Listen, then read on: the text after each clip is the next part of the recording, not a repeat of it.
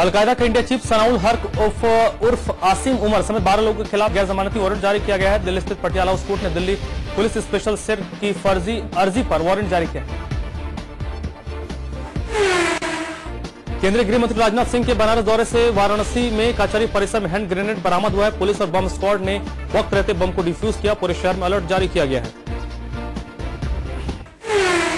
उत्तराखंड मामले पर कांग्रेस नेता गुलाम अली आज़ाद और आनंद शर्मा ने राज्यसभा में प्रश्नकाल स्थगन के नोटिस दिया। कांग्रेस ने सदन में उत्तराखंड के राजनीतिक संकट पर बहस करवाने की मांग की है। सोमवार को संसद बजट सत्र का दूसरा हिस्सा शुरू होने वाला है। नीतीश कुमार, जेडीयू के औपचारिक रूप से राष्ट्रीय अध्यक्ष बन गए हैं। राष्ट्रीय कार्यकारिणी की बैठक में इस पर मुहर लगाई गई है। उदयपुर में गृह मंत्री गुलाब सिंह कटारिया ने यूआईटी सभागार में ज़िले भर के सभी विभागों के आला अधिकारियों की समीक्षा बैठक ली। हर महीने होने वाली इस बैठक में राज्य सरकार की योजनाओं की क्रियान्वृत्ति और विभागों के कामों की विस्तृत समीक्षा की गई है। घर के भुसावर के आर्य महिला विद्यापीठ के हॉस्टल में बीएससी सेकंड ईयर के छात्र ने फांसी लगाकर आत्महत्या कर ली। आत्महत्या से पहले छात्र ने सुसाइड नोट भी छोड़ा है। धौलपुर के सदर थाना क्षेत्र में बाड़ी रोड पर एक पिकअप बेकाबू होकर पुलिया से टकराकर पलट गई। पिकअप पलट जाने से चार लोग घायल हैं। घायलों को अस्पताल में भर्ती करवाया गया। उदयपुर में झलरा इलाके में बस ने कार को टक्कर मार दी। हादसे में चार लोग घायल रहे। गनीमत रही कि बस चालक ने बस को पेड़ के सहारे रोक लिया, वरना एक बड़ा हादसा हो सकता था।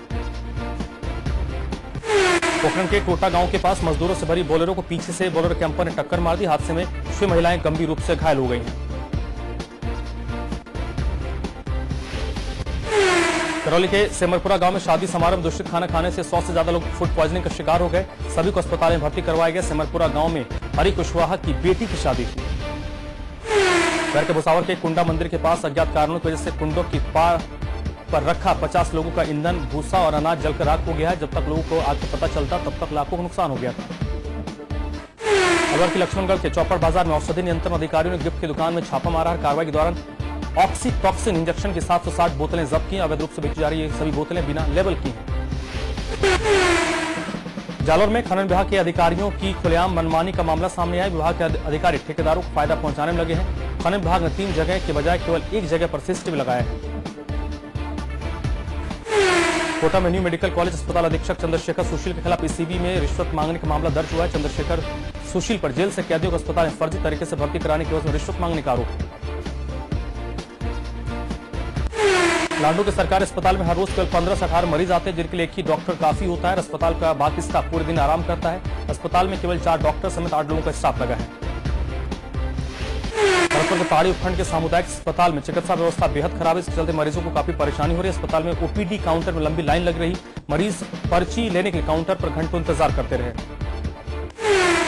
भरतपुर के ठेहरकी गाँव में पानी का संकट गहरा गया है। ग्रामीण पानी के लिए दर दर की ठोकर खा रहे सूबे के 33 में से 24 ज़िले सूखे अकाल की चपेट में है। किसान आने वाले रबी की फ़सल के लिए चिंतित। है अलवर में पानी की किल्लत से लोगों का जूझना पड़ रहा है। पानी नहीं मिलने से परेशान महिलाएँ जलदाय विभाग के कार्यालय पहुँची, जहाँ अधिकारी नहीं मिले, जिससे गुस्सा कर महिलाओं ने अधिकारियों की कुर्सी में को तोड़ दिया। झुंझुनू के पातूसरी गाँव में शराब के ठेके को बंद कराने की मांग को लेकर लोग सड़कों पर उतारे। आक्रोशित लोगों ने ठेके के सामने प्रदर्शन किया, ठेके को हटाने की मांग की। पिता सिंगरासर माइनर नहर निर्माण की मांग को लेकर किसानों ने के 24 अप्रैल को प्रस्तावित सूरतगढ़ थर्मल पावर प्लांट के घेराव को लेकर सुरक्षा व्यवस्था चाक चौबंद की गई। थर्मल क्षेत्र में भारी संख्या में पुलिस जाब्ता तैनात कर दिया गया है। चौमुन मुख्यमंत्री शहरी बीपीएल आवास योजना के सदस्यों को मकान निर्माण की किस्तों का भुगतान नहीं किया गया, जिसके चलते बीपीएल धारियों ने एसडीएम अशोक चौधरी को ज्ञापन सौंपा है और किस्तों का भुगतान करने की मांग की है। देश में अपने प्रभाव के संदर्भ में गूगल और फेसबुक जैसे विदेशी ब्रांड टॉप पर हैं, जबकि घरेलू कंपनियाँ निचले पायदान पर देश में सौ प्रमुख प्रभावशाली ब्रांड की नई सूची में कहा गया कि फ्लिपकार्ट सातवें स्थान पर है। वेस्टइंडीज के ऑलराउंडर किरॉन पोलार्ड ने दिल्ली डेडेविल्स के मेंटर राहुल द्रविड की तारीफ़ की है। उन्होंने कहा कि वो भारत में युवा खिलाड़ियों को निखारने में अहम भूमिका निभा रहे हैं। फ़िल्म सरबजीत के निर्देशक उमंग कुमार ने कहा कि सरबजीत सिंह को रिहा करने के लिए सुपरस्टार सलमान खान द्वारा चलाया गया अभियान फ़िल्म सरबजीत की स्क्रिप्ट का हिस्सा कभी नहीं रहा।